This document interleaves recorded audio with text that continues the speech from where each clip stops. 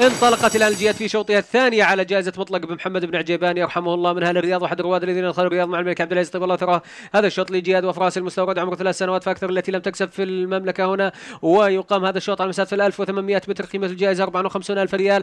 ويشارك فيه نوبل بدوين ديم الصقر الدكتور داش رياض مليونيوم متهيئ وهل تهجم محبوب شاكر كوماندر الأشعث دايم سخي نسناس الأجهر والصدارة لدكتور داش نسناس في المركز الثاني من الخارج. وفي المركز الثالث من الداخل داخل نوبل بدوين المرشح لكسب هذا الشوط.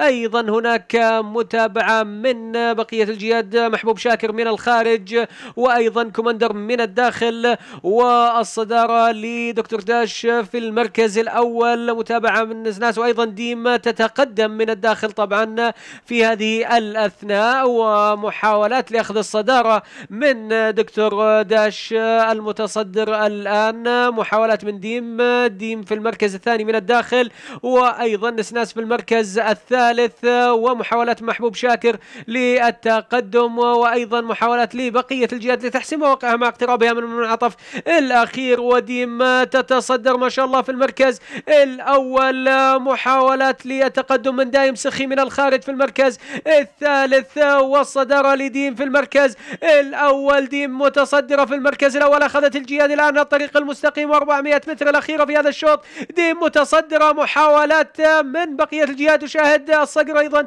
يحاول أن يتقدم والصدارة لديم ما شاء الله لا قوة إلا بالله مع دخول أيضا آه، القوي لمتيف هذه الأثناء وديم ما شاء الله في المركز الأول متابعة أيضا من الصقر ومن متهيئ وديم إلى خط النهاية معلنة فوزها بالمركز الأول في الشوط الثاني. ألف مبروك.